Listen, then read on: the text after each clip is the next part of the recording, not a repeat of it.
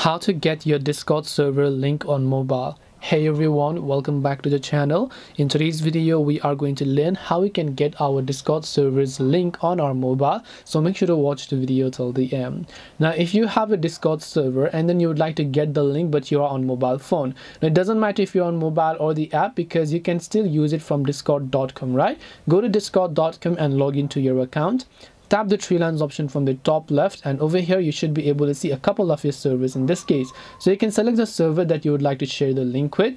Once you select that particular server at the very bottom you'll find a little gear icon. So whether you're using the app also doesn't matter you'll still find the same interface. You can tap the little app icon over here and you should be able to see all this or you can directly tap this little drop down menu here and then you should be able to see invite people.